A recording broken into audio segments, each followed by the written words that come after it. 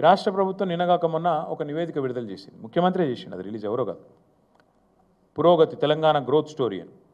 ఆ growth story పుస్తకంలో ఉన్నది మీరు చూడండి కావాలంటే తీసి. లక్షన్నర కోట్లు మూసి కోసం పెడుతున్నామని ఆ- పుస్తకంలో ఉంది. మరి దీన్ని ఎక్స్పోజ్ చేయొద్దామని మాట్లాడద్దా? నేనేమంటున్నా అంటే ఇంత అవుట్ రైట్ లూటు స్కామ్ మా కళ్ళ జరుగుతుంటే మేము చూడనట్టు తెలియనట్టు ఉంటే ఎట్లా బ్రదర్ నాకు అర్థం కాదు. మూసీ విషయంలో నేను ఒక్కటే సూటిగా అడుగుతున్నా బ్రదర్ మాకంటే ఎక్కువ ప్రశ్నించాల్సింది మా జర్నలిస్టులు.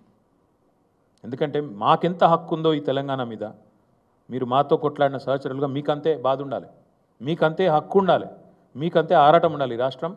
తప్పుదారి పట్టొద్దు అని. ఇవాళ లక్షన్నర కోట్లు తీసుకుపోయి నేను ఇలా పారవస్తుంటే నేను అడుగుతున్నా తమ్ముడు వానాకాలం రైతు బంధు ఇచ్చేందుకేమో నీ కాడ పైసలు లేవు. డెబ్బై లక్షల మంది రైతులకు పైసలు ఇచ్చేందుకు పైసలు లేవు. కానీ లక్షన్నర కోట్లు మూసిలో వస్తా అంటే చూద్దామా? ఇంకొక మాట అడుగుతున్నా బ్రదర్ నేను. పైన దామగుండంలా అక్కడ మూసిని బొండిగ విసికి చంపుతావు పుట్టిన కాడ. కింద మూసి రామన్నపేట కాడనేమో అదాని పరిశ్రమకు ఇరవై మూడు తారీఖు నాడు ఉన్నది పబ్లిక్ హియరింగ్ కాలుష్యకారక పరిశ్రమకు అనుమతిస్తావు. మరి పైన చంపుతావు మూసిని కింద చంపుతావు మధ్యలో మాత్రం నాలుగు రంగులేసి లక్షన్నర కోట్లు తింటా అంటే మరి నేను మాట్లాడద్దా? నేను మాట్లాడితే దాని ఏదో జర్నలిస్టులను అవమానించిన అని ఎవరో దాన్ని ట్విస్ట్ చేసే ప్రయత్నం చేస్తే నేను ఒకటే అడుగుతున్నా బ్రదర్.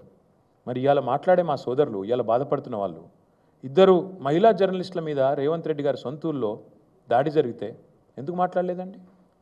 ఇక్కడ కాదండి ఇక్కడ ఉస్మానియా యూనివర్సిటీలో ఒక జర్నలిస్ట్ మీద పోలీస్ ఆయన వచ్చి చెంపదెబ్బ కొడితే ఒక్కరన్నా మాట్లాడినరా? జర్నలిస్ట్ శంకర్ మీద దాడి జరిగితే మాట్లాడినరా? నేనేమంటున్నా అంటే నా కాడికి వచ్చేవరకే విలువలు అంటే నేను ఏ జర్నలిస్ట్ను నేను అవమానించలేదు అవమానించను. నాకు ఎనలేని గౌరవం ఉంది ఉంటుంది భవిష్యత్తులో కూడా ఉంటుంది.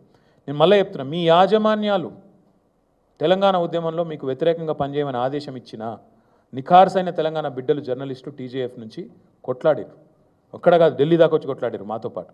కాబట్టి మీరంటే మాకు గౌరవం ఉంది ఆ విషయంలో రెండో అభిప్రాయం లేదు. కానీ మూసీలో జరుగుతున్న లూటీని కవరప్ చేయడానికి ప్రభుత్వం పడుతున్న తంటాలు మేము గమనిస్తున్నాం. దాన్ని ప్రజల దృష్టికి తప్పకుండా తీసుకొని రావాలి. ప్రధాన ప్రతిపక్షంగా నా బాధ్యత అది. దానికి ఎవరైనా బాధపడితే నేను చేయగలిగింది ఏం లేదు. నేను అనేదల్లా మళ్ళొక్కసారి ఒకటే లూటీ ఏ రూపంలో జరిగిన కాంగ్రెస్లో మేము ఖచ్చితంగా ప్ర ప్రధాన ప్రతిపక్షంగా ప్రజల తరపున మేము తప్పకుండా నిలదీస్తూనే ఉంటాం అడుగుతూనే ఉంటాం. ఆ విషయంలో రాజీపడం.